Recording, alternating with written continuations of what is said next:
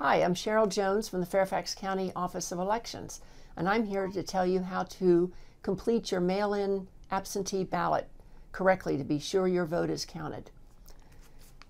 Your ballot will arrive in a mailer like this. It has your name on the front, it has the Fairfax County logo on it, it says official absentee ballot. Inside, you'll find instructions. You'll find an A envelope that contains your ballot.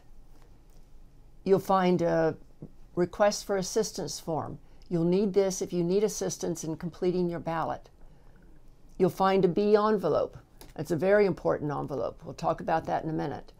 You'll also find a notice informing you if you are required to return um, an identification with your ballot when you return it. And you'll find a return mailer, postage paid. So, first, your instructions. Open them up and read them. Please read the instructions. If you would like the um, long version of the instructions, fully detailed, you can go to our website, fairfaxcounty.gov slash elections.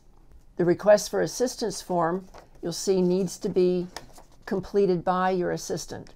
The assistant needs to sign it and put in his or her name and address. Envelope B is critical to making sure your ballot is counted.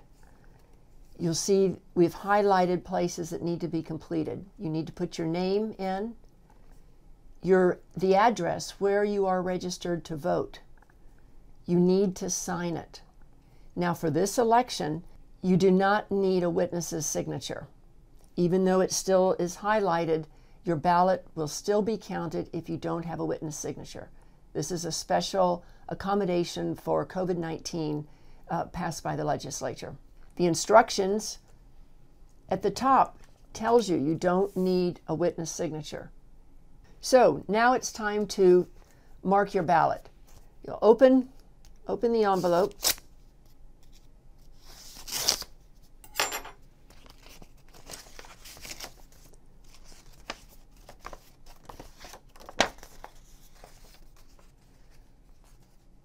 On the front, there are the three contests President, Senate, and House. Your instructions reminding you to fill out the small oval next to your choice. It's best to use a dark pen, blue or black pen. We want to be sure that the voting machine can read your vote. Here are instructions showing you how to mark it. On the back, you'll see two constitutional amendments and bond issues. Here you just vote yes or no. The black lines around the outside of your ballot are an important part of your ballot. This is what is read by the digital scan voting machine so it knows that this is a, an official ballot.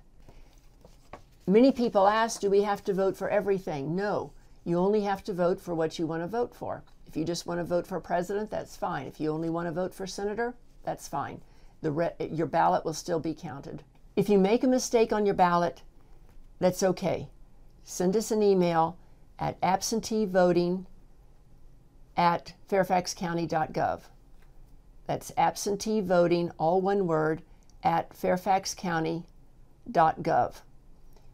And just explain that you've spoiled your ballot and you would like a replacement. We'll put, it, put one in the mail probably the next day. When you've completed your ballot, the ballot goes inside this B envelope. Ballot must be inside. This is by law. For us to count your ballot, the ballot must come back inside the B envelope. You must have your name, you must have your address, you must have signed it. Seal the envelope. This creates a secure envelope so that no one can see how you voted. This envelope isn't open until your ballot is accepted and then it's dropped still folded into a ballot box. We don't, there's no way we associate the voter with the votes and with the ballot. When you've completed your B envelope, put it inside your return mailer. It's postage paid. You can put it in the mailbox and send it back. You can also put it in um, drop boxes. They'll be located at all of the satellite early voting locations starting October 14, or you can bring it to the government center and put it in the drop box here at the early voting location. Now, if you needed assistance to completing your ballot, be sure that this form is filled out correctly with your assistant's name and signature, and your signature if you're able to sign it. This also goes inside this envelope. Now, if you see on your return address label ID required, be, you'll see it on this side. If it says ID required, then you need to read these instructions. This means this is the first time you're voting without having shown an ID, and you need to send us a photocopy of an ID. It doesn't have to be a photo ID, and this, these instructions will explain it.